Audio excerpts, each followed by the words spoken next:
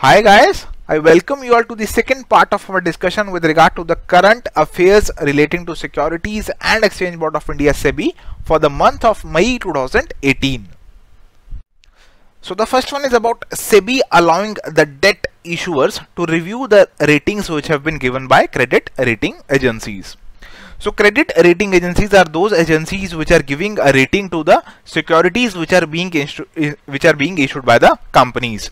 And in this case, we are talking about the debt securities. For example, bonds are an example of debt securities. So SEBI has allowed the companies which are issuing these debt securities to review the ratings which have been given by credit rating agencies.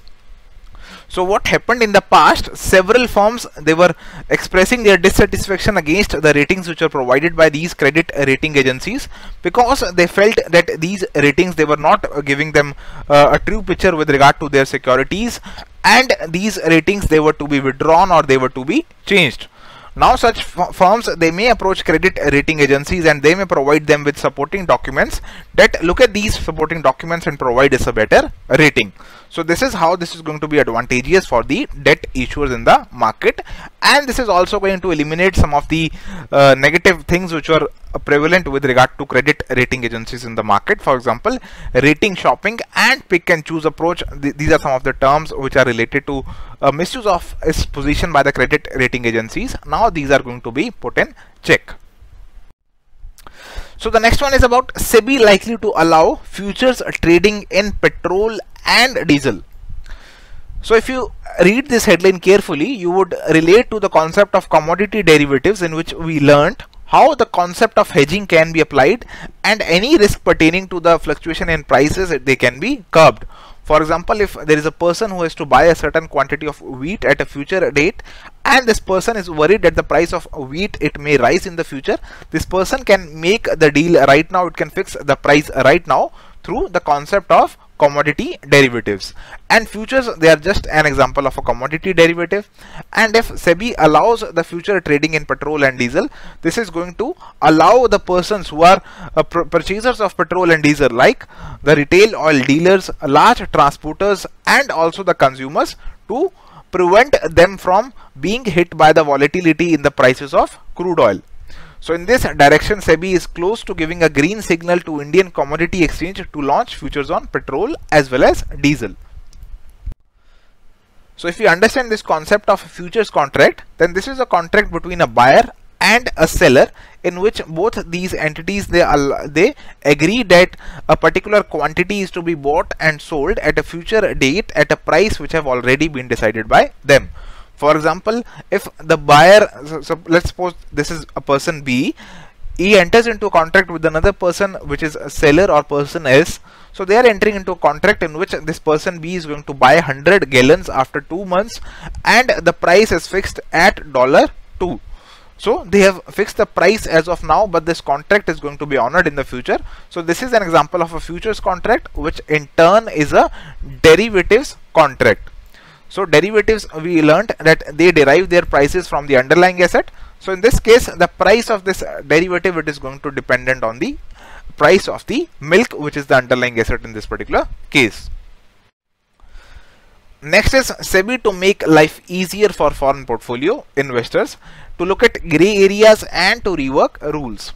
So SEBI felt that we have framed very stringent rules and regulations for foreign portfolio investors and we need to make themselves a bit easy so that the foreign investment it flows into the Indian economy and for this particular purpose SEBI has constituted a high profile team which is going to be led by former deputy governor of RBI Shri HR Khan. So this committee is going to look into various areas and ambiguities which are there in the policy framework pertaining to foreign portfolio investors and to uh, address these issues so that FPIs they are uh, having easier norms and they have to comply with easier terms and conditions for investing in the Indian capitals market. Now if we try to look at the different categories of foreign portfolio investors so I believe you must be aware about the concept of foreign portfolio investors as of now. And we have discussed many a times how the SEBI regulates these foreign portfolio investors. And for the purpose of regulation there is this categorization of these foreign portfolio investors which we have uh, as of now we have not discussed in detail. So let's take a quick overview of these different categories. Category 1 category 2 and category 3 foreign portfolio investors now category 1 foreign portfolio investors they are the sovereign funds and those backed by the government and multilateral agencies. So are they are going to be the best kind of or the risk free kind of uh, foreign portfolio investors because they are backed by the government. Next is category 2 foreign portfolio investors which are regulated or broad based entities like pension funds or funds led by insurance companies banks and mutual funds so the persons who are backing these category 2 foreign portfolio investments, they are big companies like they are insurance companies, they are banks and mutual funds. Category 3 FPAs are unregulated funds and they can be backed by corporates, individuals, families or trusts or hedge funds even they also fall in this category and they and these are those all kinds of funds which are on the lower end of the spectrum if we look at uh, that in terms of degree of security etc and we have to remember that there are three categories of these foreign portfolio investors and different sets of norms they are issued for these foreign portfolio investors depending on the category in, to which they belong to. Next is SEBI panel proposes stricter norms for RTAs. RTAs stands for Registrar and Transfer Agents. Now registrar and transfer agents they are associated with the different aspects of a mutual fund transaction. They are uh, related to the transactions which are being done between the mutual fund company and the investors. So they are playing a key, key role in all the mutual fund transactions and we are going to learn more about this in the coming slide. Now according to a discussion paper which has been released by SEBI recently and this is based on the recommendations of a panel which was headed by former RBI Deputy Governor Mr. R. Gandhi and this discussion paper it says that there is a need to uh, there is a need to have stricter governance norms for RTAs that is registrar and transfer agents because they are managing sensitive investor related data. At the same time it has pointed out that these RTAs credit rating agencies and the trustees for the debt instruments they need not be categorized as market infrastructure institutions but they should be uh, kept uh, they should be kept under the tighter norms with regard to governance rules. So it is said that they are not market infrastructure institutions, but we need to have tighter norms for these. So registrar and transfer agents, they are those persons who maintain detailed records of all the investor transactions in the mutual funds and shares. So they are maintaining de de detailed record of the different investor transactions. They also help investors complete their transactions and receive a record of their account statements. So they are handling the different aspects of a mutual fund transactions and the transactions in shares. And in September 2017, SEBI had introduced a new kind of uh, classification for those RTAs which were having uh, more than 20 million folios, that is qualified registrar and transfer agent. Now folio is a term which is used to demarcate the number of mutual funds which this particular RTA is handling. Now SEBI panel has said that these QRTAs they should either have a dispersed ownership or they should be owned by regulated entities in order to ensure that proper corporate governance norms or a broad based decision making process is there in place in these RTAs. Further, SEBI has proposed that board of these RTAs should have public interest directors that is the directors which look at the interest of the public at large because these entities they are handling a lot of uh, transactions lot of investor transactions in mutual funds and shares and hence the interest of public at large needs to be kept in mind. So the next one is about SEBI announcing additional risk management measures for derivatives segment so if you read this particular headline, you would feel that there is this risk with the derivative segment and SEBI is thinking of tackling this particular risk and for this particular purpose it has announced these additional risk management measures. So these measures they pertain to margin requirements and different technical standards with regard to these derivative segment and these particular changes which have been made by SEBI they are going to impact the brokers who are indulging in futures and options trading.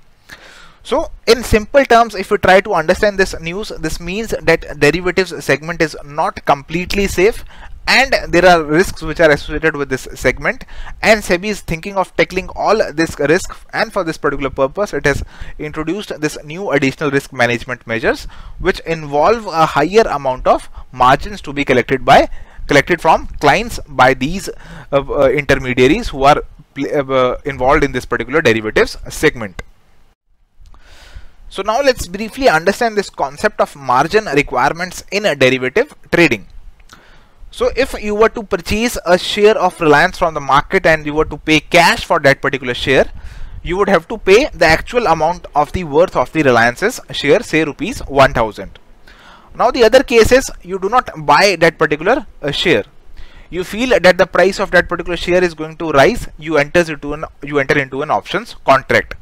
And to enter into an options contract, which is a type of derivative uh, contract, you need not pay the whole amount of the share of Reliance. You just have to pay a margin money.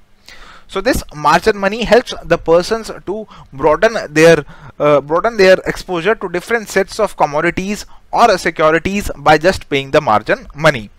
So in quite a way you can see this as a risky proposition because you are just putting in a small amount of money and you are exposing yourself to huge amounts of risk. So SEBI feels that these risks they are there in place and hence there is a requirement of additional uh, safeguard measures with regard to derivatives trading and for this purpose it has increased these margin requirements. Now if you understand this concept of margin there are also different sets of margin. For example there is an initial margin there is a maintenance margin and there is also a concept of margin call and these are very technical terms and we need not go into much detail with regard to all these terms as of now. Now an important concept which is related to computation of margin requirements is that of SPAN or standard portfolio analysis of risk. Now this particular SPAN model or SPAN software is used for calculating the initial margin which is required for entering into derivatives contract. So that is why this software is important and you have to remember that SPAN is related to computing the margin requirements for derivatives trading and if there is a failure to have a requisite span margin in the account this can result into a penalty which is to be levied by the stock or commodity exchanges. Now next is SEBI proposes uniform pricing for debt securities. So if you read this headline you would feel that as of now there are different pricing mechanisms which are there for debt securities and particularly for those debt securities in which the trading is thin or they are not uh, traded on the stock exchange then for that particular debt securities it would be very difficult to arrive at a price and to address these particular issues SEBI has proposed a uniform pricing for debt securities.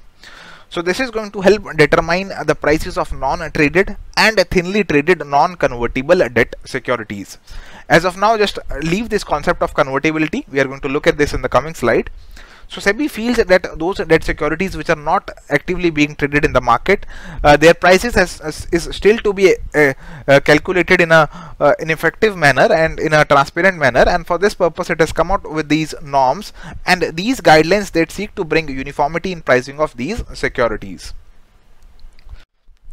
Now, if we try to understand this concept of convertibility, then there is two types of securities which are there. One is convertible and second is non-convertible debt securities and there is a hybrid category which is partly convertible debt securities.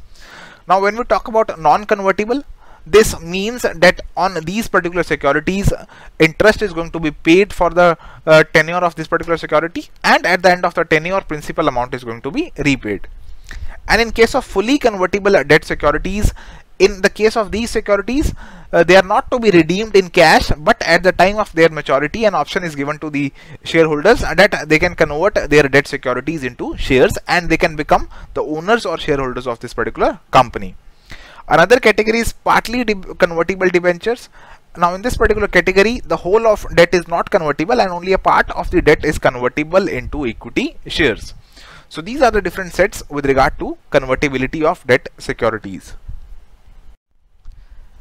Next is SEBI tightens KYC norms for foreign portfolio investors.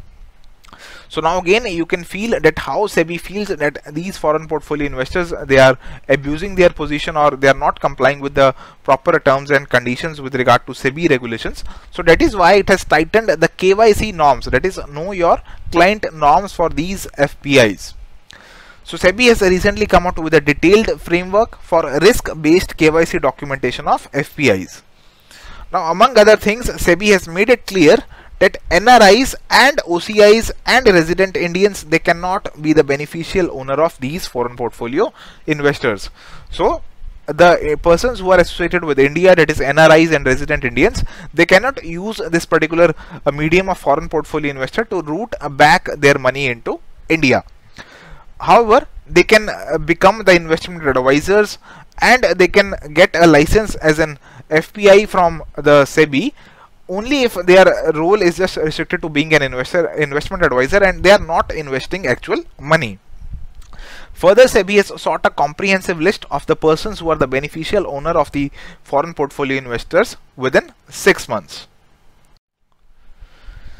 Next is NSE algo trading case. SEBI may ready final report soon so this particular algo trading case is often in the news and uh, in this particular case SEBI has uh, is trying to uh, find out the exact role or the possible conclusion of the employees of the National Stock Exchange and SEBI is investigating whether there is an there was any lapse or whether there was any person who seemed to benefit from this kind of arrangement. Now SEBI's technical advisory committee in 2016 had in its report said that using this particular algo trading facility preferential access was being given by the National Stock Exchange to its stock brokers. So this preferential access it was being misused by the stock brokers and they were uh, utilizing this preferential access to make additional uh, gains which were not genuine ones which were not in compliance with the rules and regulations of SEBI. So algo trading is a method of executing a large order. And this large order is executed through automatic computer generated trading commands. So computer takes automatic decisions. And it is these decisions they are based on different sets of variables like time, price, volume. And the uh, actual trading actual transactions they occur in small slices or small volumes and ultimately uh, there is a larger order which is uh, split into large uh, different small orders and they are executed to achieve or to uh, fulfill that entire large order. So if some of the brokers they were to get some additional access to a national stock exchange broking platform then they would misutilize uh, this particular position to get some information and to get their trades executed at a faster pace right before the prices they were going to rise. They bought the shares in a fraction of second and when the prices rose they sold that particular shares. So they were just misusing this particular position which they were given to make profits in an ungenuine manner. So that is why SEBI is investigating this particular matter. Next is new SEBI framework to check non-compliance of listing rules so SEBI is putting in place a stronger mechanism to check non-compliance of listing conditions.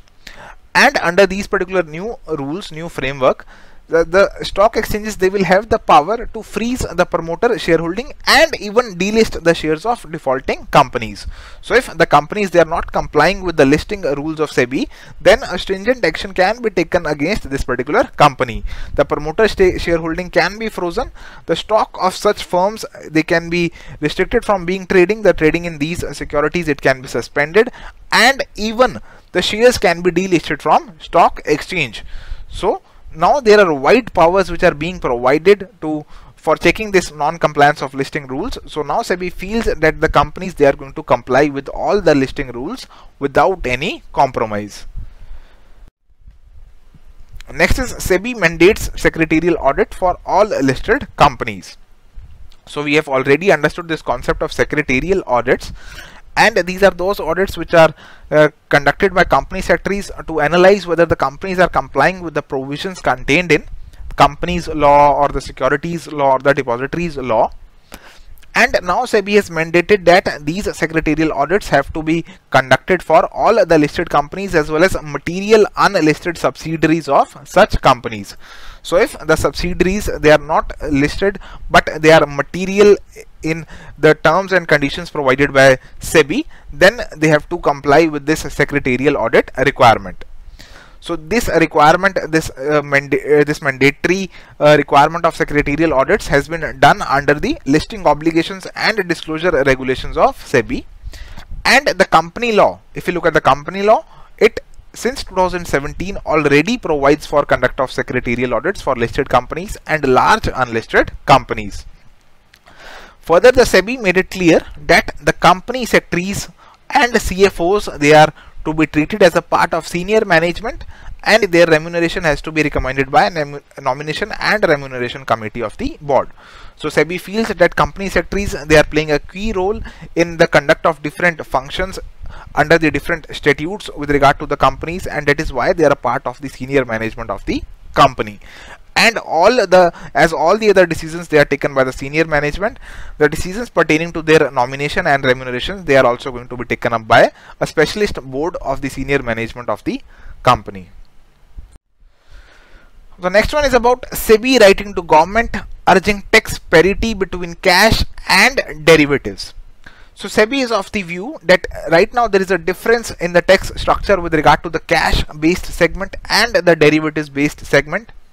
Now if we try to understand the difference between these two segments, now cash based segment is that segment in which you pay the cash and you acquire the securities. But in the derivative segment, you just have to pay the margin and you can participate in the transactions of uh, derivatives trading or the commodity trading just through this particular margin money. Now this particular difference in tax structures is more pro pronounced in the case of securities transaction tax which is being charged at a higher rate in case of cash segment in which the deliveries are being made. Now the favorable tax treatment for this derivatives segment is encouraging small investors towards derivatives market and there is a huge risk associated with this derivatives market because as we just discussed you just have to pay a margin money and you can get exposure to a lot of risks in the market so since you are exposed to all these risks a small investor it is is at risk here because it's hard earned money it can be lost in the derivatives market and SEBI plans to promote the use of cash segment for small investors rather than derivatives segment. SEBI feels that derivative segment should be more or less employed by those persons who want to hedge their risks. Now the concept of securities transaction tax is very simple. Security transaction tax is levied on purchase of or sale of securities that are listed on the Indian stock exchanges. So if you are trading in the listed uh, securities, then you have to pay securities transaction tax. Uh, tax. For example, if you are dealing in shares, derivatives or equity oriented mutual funds, this particular securities transaction tax has to be paid. So these are the different differences between the derivatives and the cash segment. So when you buy shares in the cash market, you take delivery and you become the owner of these shares, but you never become a shareholder when you trade in the derivatives segment. Investor in the cash segment, since they are buying the shares, they are the owner of the shares, they are entitled to dividends that the companies pay. But this is not the case with the derivatives segment.